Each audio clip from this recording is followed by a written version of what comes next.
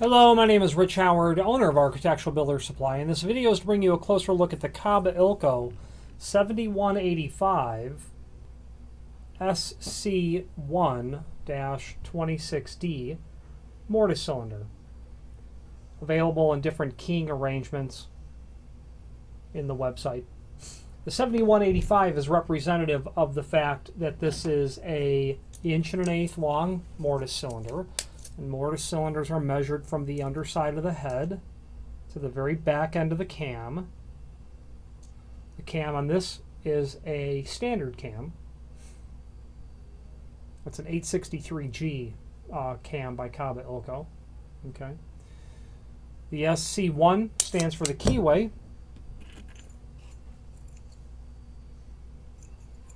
It's a Schlage C keyway.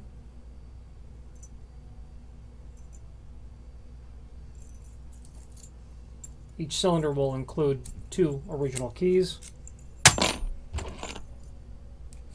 And then, like I said, you can get it with um, a variety of different um, keying arrangements. We can key these here if you have a need for custom keying arrangements, and also different tail pieces are available under different part numbers. Uh, mortise cylinders like this are very commonly used for um, all sorts of types of hardware.